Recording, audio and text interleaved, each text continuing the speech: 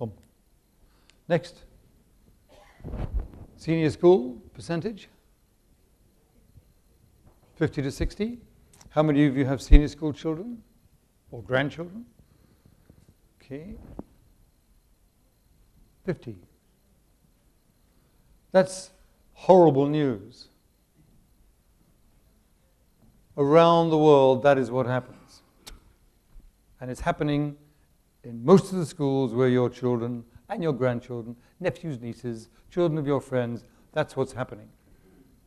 And you were in school. How many of you graduated from a university or college? Congratulations, ladies and gentlemen.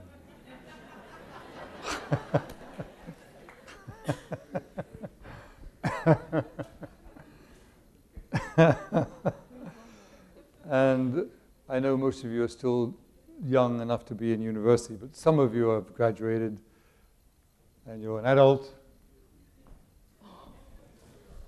And that's where it is. And that is even worse, it's normal. And it's in Dubai, and it's in Japan, and it's in Australian territory of the Australian Aboriginals. It's the same in Kenya, it's the same in New Zealand, it's the same in Argentina, it's the same in United States of America, it's the same in Deutschland, it's everywhere. And that's why the world is depressed, which it is.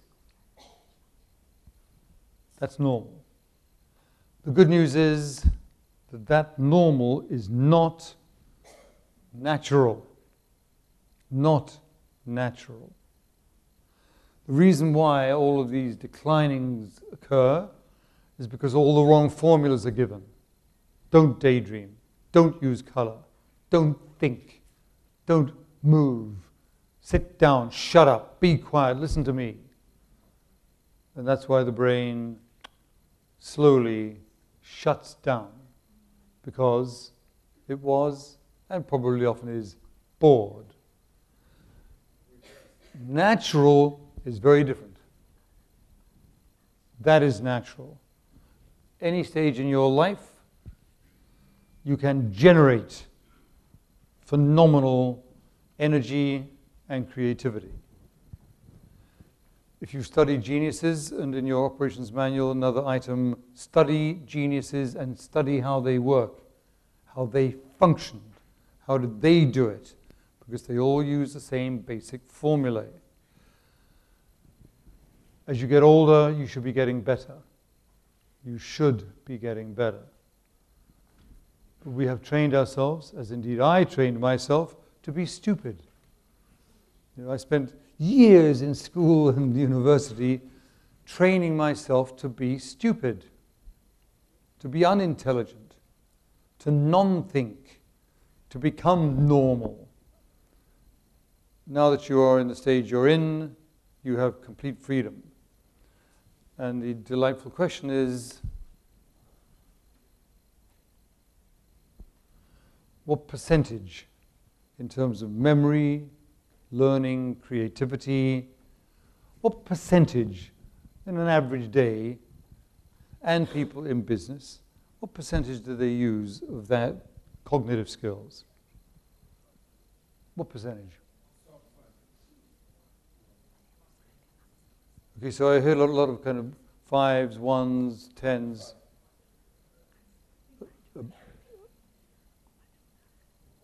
One, one. So how many of you say somewhere between 1 and 15%? So a vast majority of you. And that's fascinating itself, isn't it? Here you have, you know, 200 plus young companies, and virtually all of you estimate that it's between 1 and 15%. So you know it's not being used. So in your operations manual, it must say develop my brain, invest in my intelligence. It's your prime investment. And the fact is that when you're saying 1 to 15%, even that makes you optimistic. Optimistic. less than 1%. Bad news or good news? Bad news, bad news, bad. That's not bad news. That's phenomenally good news, isn't it?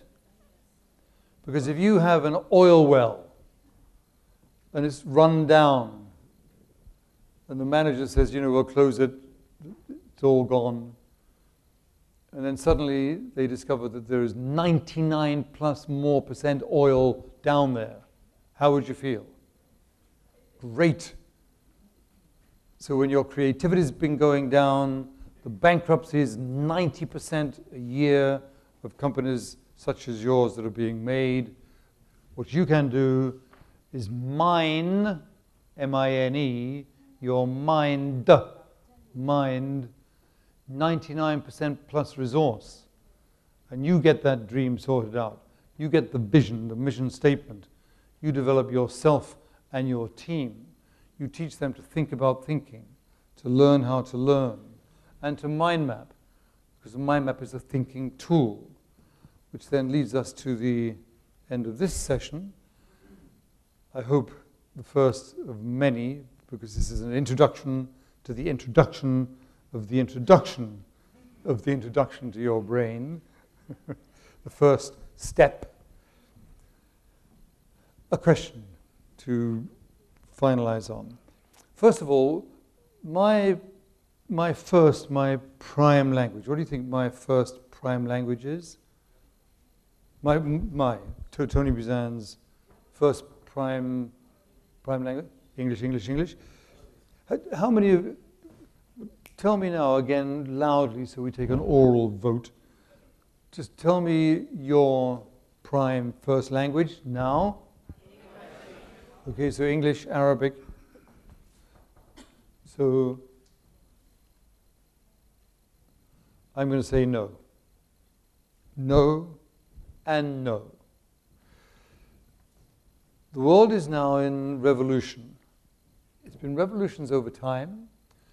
The ages, global ages, not local, but global ages, were agricultural, industrial. What age are we in now? Yeah. It wins information, technological, digital.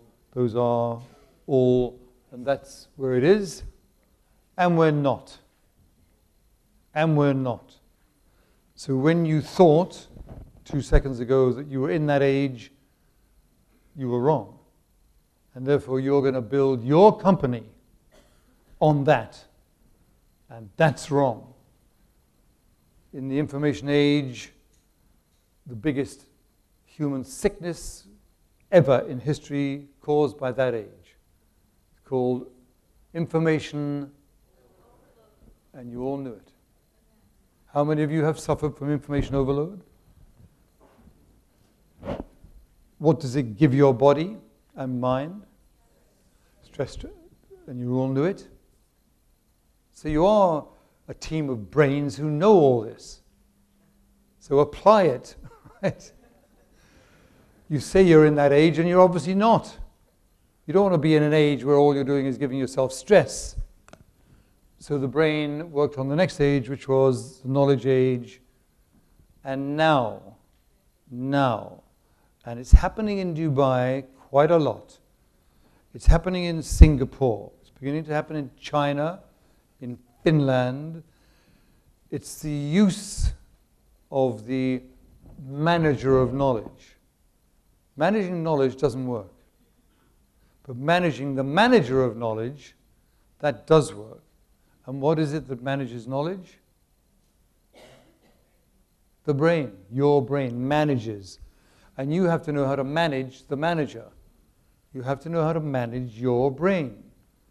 And most people don't know how to do that. And therefore they go into the quicksand. So we are now in the age of intelligence thinking about thinking, learning about learning, creativity, innovation. But a lot of people are saying innovation and they don't know what it means. And they're using language and they don't know what that means. And thinking, they don't know what that means. So you now have this wonderful opportunity in this very nurturing environment to help you guide yourself through this, to manage your multiple intelligences. So, language. I'm going to give you the final little game for you to play. I want you to imagine that you're a supercomputer.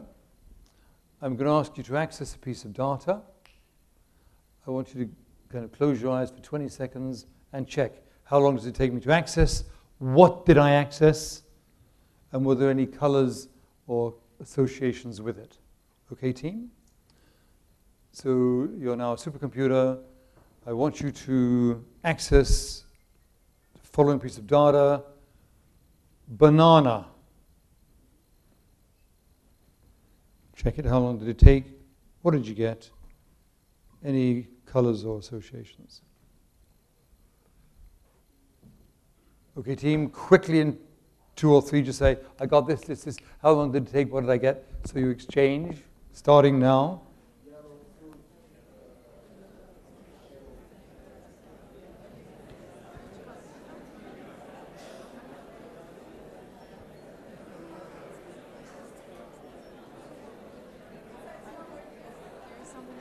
So I hear nanosecond, millisecond, just like that, you know, impossible. So already you are now becoming aware of the fact that your brain and every team member of your team and every member of your family can access data from a vast data bank just like that. And no neuroscientist can do that. Nobody knows. So if you want a Nobel Prize, work that out, and you will get a Nobel Prize. And you will get it just like that. So the capacity of the brain demonstrated. Now, when your computer did it, did it give you a nice little computer printout? B A N A N A space. Is that what you got? What did your brain give you? Image, image, image, color association, picture. How many of you got color, image, picture? Keep your hands up. Keep your hands up. Look around. Keep them up. Look around. Welcome, ladies and gentlemen, to the human race.